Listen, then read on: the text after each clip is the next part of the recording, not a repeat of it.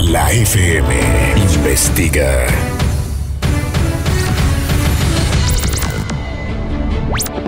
Seis de la mañana, 46 minutos. 6.46.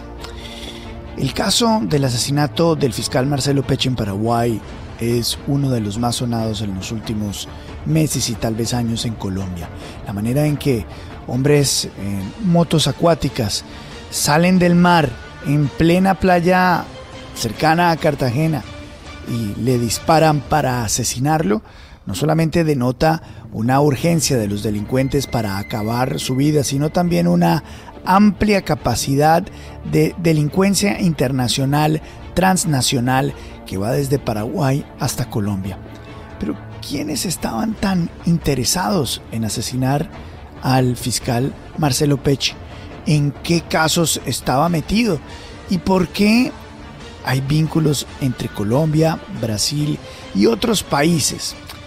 La FM nos intentamos caracterizar también por no abandonar temas que son titulares un día y que son prácticamente olvidados el otro, olvidando o dejando atrás lo más importante de cada uno o de cada una de estas historias y es el contexto. Tenemos la primera entrega sobre lo que sabía el fiscal Marcelo Pecci. La FM investiga. La FM investiga. Luis Carlos, la policía colombiana anunció en las últimas horas una serie de capturas en cooperación con las autoridades de los Estados Unidos y la justicia paraguaya. 17 delincuentes extraditables fueron capturados en los últimos días en Colombia por delitos de narcotráfico y lavado de activos. Entre los capturados, de acuerdo a la información de la policía, está Diego Mauricio Blanco del clan Rocha, que tiene vínculos delictivos con el primer comando capital, la banda de narcotráfico más peligrosa en la frontera entre eh, Brasil y Paraguay. Así lo anunció ayer el general Jorge Luis Vargas de la policía. Dentro de estas organizaciones, de, las cuales fueron capturadas, hay delincuentes que pertenecían a, a los Brunos de Perú, al clan Rocha de Brasil. De los delincuentes capturados dentro de ese clan, tenemos evidencia y lo que nos ha dicho Interpol es que lavarían dineros con Paraguay. Estamos verificando los alcances de ese lavado precisamente con el Paraguay. Ahora vamos con la historia en Paraguay. Atacan a balazos a José Acevedo, intendente de Pedro Juan Caballero. Así tituló la prensa paraguaya un hecho de violencia sucedido ayer en la ciudad de Pedro Juan Caballero. El intendente Acevedo se encuentra esta mañana con pronóstico reservado luego de recibir tres impactos de bala en zona lumbar, cervical y la clavícula que fueron originados en un arma 9 milímetros de acuerdo a las autoridades paraguayas. Tres disparos de un arma 9 milímetros recibió el fiscal paraguayo Marcelo El pasado 11 de mayo, cuando dos sicarios lo abordaron en motos acuáticas en la isla de Barú, quitándole la vida en medio de su luna de miel y pocas horas después de enterarse de que sería padre como lo conoció el país.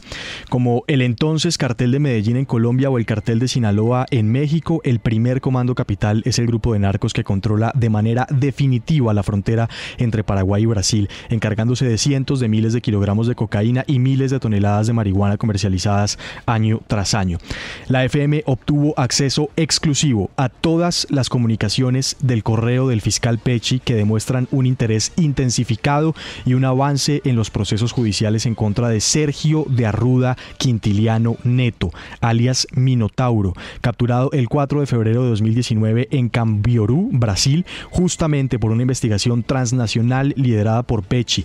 Minotauro es el jefe de la banda de narcos y sicarios Primer Comando Capital, uno de los nexos de esta banda fue capturado ayer en Colombia. Les acabamos de pasar el audio del general Vargas. Quintiliano Neto fue capturado en el lujoso complejo de Marina Beach Towers, luego de una historia de sucesiones de narcos dueños de la frontera entre Paraguay y Brasil.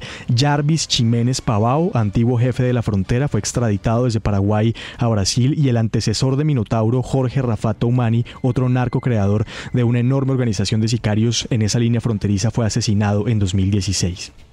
El pasado 7 de abril, un mes antes de que el fiscal Pecci saliera a vacaciones rumbo a Colombia, este recibió un documento a través de su correo titulado como urgente de parte del fiscal general del estado de Paraguay. El correo tiene como adjunto una comunicación del Ministerio de Justicia de la República de Brasil en la que se le solicitó al fiscal Pecci información acerca del político paraguayo Hugo Volpe Mazo, quien el pasado 24 de enero renunció a su cargo como viceministro de Política Criminal de Paraguay sorpresivamente. Esto dice la comunicación de la justicia brasileña, eh, conocida por la FM. Encaminamos la adjunta solicitud de asistencia extraída de las acciones penales en trámite por la subsección judicial de Pontapora, estado de Mato Grosso, la cual tiene como finalidad la obtención de información relacionada con Hugo Volpe Mazó. A ese respecto solicitamos informaciones sobre el cumplimiento de dicha solicitud. La renuncia del vicefiscal Volpe Mazó es tan reciente que en la prensa paraguaya poco se conocen las razones. La comunicación conocida por la FM le solicitó al fiscal Pechi copia del interrogatorio de Hugo Mazó y de todo el informe de investigación en su contra en el caso por un aprovechamiento indebido, un soborno.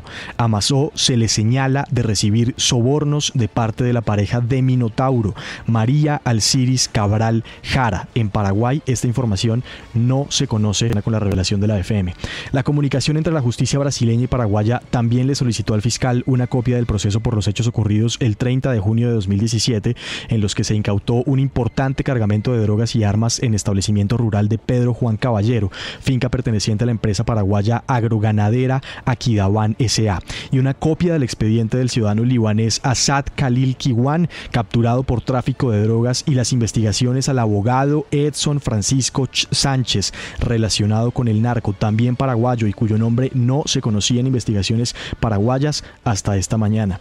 En Paraguay hubo cuestionamientos en la clase política durante los últimos años porque coincidencialmente varios de los enemigos de alias Minotauro empezaron a ser capturados, dejándole el camino libre en medio de una guerra de asesinatos que se llevó la vida de la abogada paraguaya Laura Casuso. El 17 de enero de 2019, Sicarios al mando de Minotauro asesinaron a otro gran narco conocido como Francisco Chico Chiménez de 190 disparos de fusil. Un año antes, otro enemigo de Minotauro, Elton Leonel Rumik, alias Galán, fue capturado en Brasil y en 2017 Jarvis Jiménez Pavao fue capturado en Paraguay. Minotauro terminó tras las rejas el pasado 4 de febrero de 2019 en una investigación liderada por el fiscal Pecci, quien un mes antes de su viaje a Cartagena recibió la solicitud urgente de la justicia brasileña para el envío de información que relacionaba a políticos paraguayos con el termido narco condenado a 40 años de prisión por las labores de Pechi. Ayer, un intendente de la ciudad en la que Pechi llevaba estas investigaciones, Luis Carlos, recibió un atentado exactamente igual que el que le quitó la vida al fiscal Pechi. Un arma 9 milímetros y tres disparos de bala. Hoy está con diagnóstico reservado ese intendente. Tremenda investigación, Santiago. Tremenda. Felicitaciones. Lo que sabía el fiscal Pechi.